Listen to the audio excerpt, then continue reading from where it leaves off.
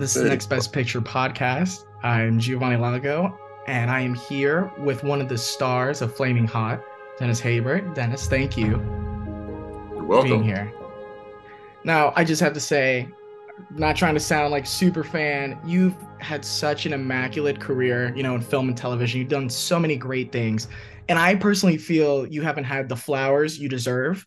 And in this film, your character, you know, uh, Clarence, he's in that same position. You know, he's working at Frito Lay's. He's one of the best in the factory, and he's not really getting the acknowledgement he deserves.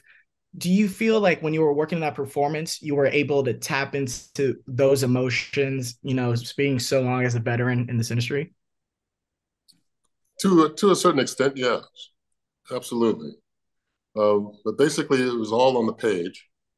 Mm. And um, yes, you know, uh, as, as an actor and artist and everything else, you, have you've gone through things like that. You know, yeah. uh, gone through that when I was uh, before I became an actor. And You know, and I had you know uh, little jobs here and there where I thought I I should have been a little higher up than I than I was. Yeah. Know? And, uh, and and hence the um, uh, the, the the isolation that he had uh, even within the story. You know, ate lunch by himself. You know, kept to himself. It was just him and his machines. And uh, and then uh, here comes uh, Richard Montañez to, uh, you know, basically help him come out of his shell. You know, and he comes out of his shell in order to help Richard Montañez realize his dream. So um, in this way, we all, you know, we all work together. And if you work together, excuse me, if you work together, anything's possible, anything and everything. Totally agree. So, I agree that, you know, us working together, helping, you know, build each other into positions that we can always achieve and succeed and make everyone better. And, you know, you mentioned Richard, Jesse Garcia is so good in the movie and so energetic. And you two together have such a, a fun dynamic. What was it like playing off each other? Um, and it was exactly what you saw. Uh, that's what we worked towards, you know, mm-hmm. and it, and it helped that we uh, we genuinely like each other, which isn't always the case in in movies and television. But uh, we are still we are friends to this day. Uh, oh. So yeah, it's it's it's it's it's wonderful. That's that's great to hear.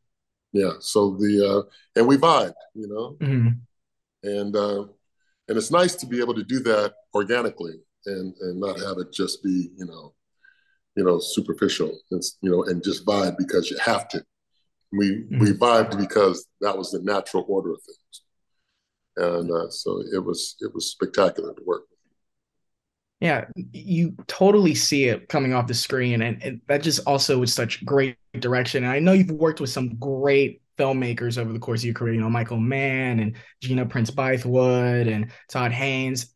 And now you're working on Eva Longoria's, you know, feature debut. What makes her stand apart compared to those previous filmmakers I just mentioned? Um, well, you know what? When you were mentioning them, I was thinking, you know, that she's right on par with all of those people, uh, mm-hmm. all in different ways, of course. But um, Eva, not only being a, uh, a great actor, she uses that ability uh, in front of the screen uh, to work behind the camera, you know, because she understands actors and she understands what she goes through. So she innately understood what we were going through in front of the camera. And she would do everything she could just to support us and help us discover who our characters were and uh, and she and she directed with a uh, with a gentle hand. You know, there were never any problems or or you know flare ups or anything else like that on the on the set. Everything came from a place of love and admiration and uh, and uh, and enjoyment and you know and and love for each other. So it was it was a you know it was a love fest.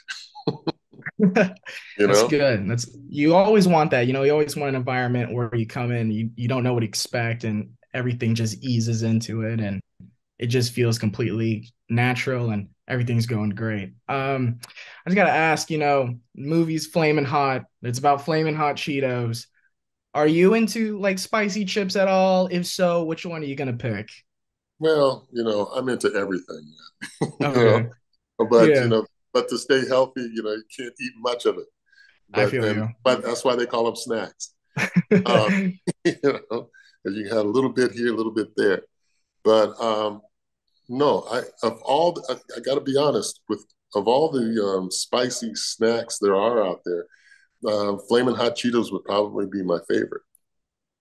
Okay, I, yeah. I have to recommend if you haven't tried the Flaming Hot Ruffles, very underrated. Flaming Hot Ruffles, okay. Yeah. Okay. Yeah. But it's something, um, and, something about that Cheeto, that Cheeto shape and, and everything yeah, and, and, the crunch. It's the crunch. The crunch, man. Because I mean, I, I love the regular Cheetos. Mm-hmm. Um, well, also in this film, as we mentioned earlier, you know, you you get out of your shell and you loosen up because you're the very like the straight man to uh Jesse Garcia's, you know, very energetic comic uh guy. And mm-hmm. throughout the movie, you loosen up and you do get zingers here and there.